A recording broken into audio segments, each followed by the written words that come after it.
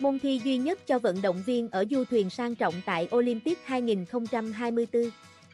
Các vận động viên môn lướt sóng tham dự Olympic 2024 được ở trên một du thuyền cao cấp tại đảo Tathi thay vì tập trung trong làng vận động viên.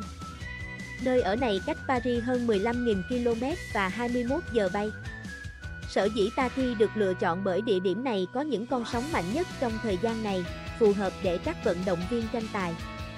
Ban tổ chức sắp xếp cho các vận động viên ở trên du thuyền Arani 5. Chiếc du thuyền này có 103 phòng với sức chứa khoảng 230 người.